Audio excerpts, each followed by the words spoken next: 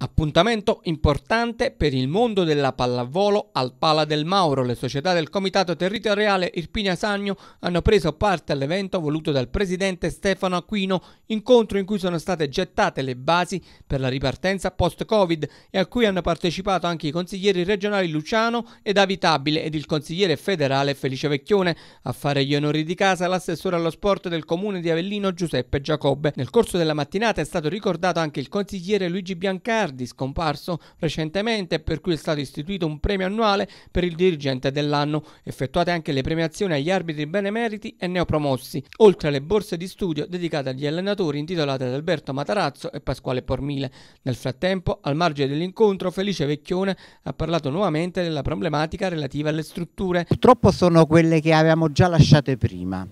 la, casa dello sport non esiste ancora, le società continuano a mendicare quotidianamente presso gli amministratori, i gestori di questi impianti che continuano a tenerle chiuse non so per quale motivo. Si parla tanto di inclusione, si parla di riavviamento nell'attività salutare dei ragazzi,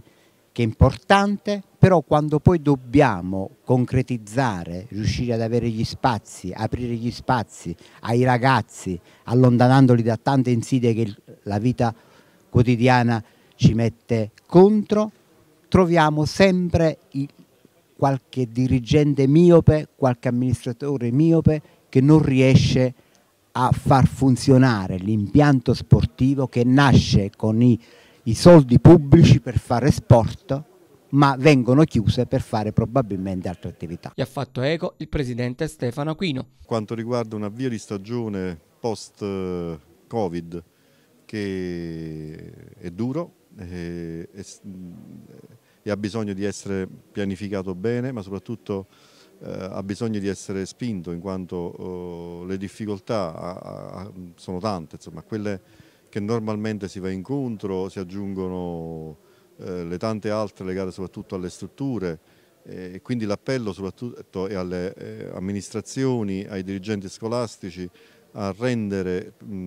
possibile lo svolgimento delle attività sportive nelle palestre affinché questi ragazzini finalmente ritornino a fare sport.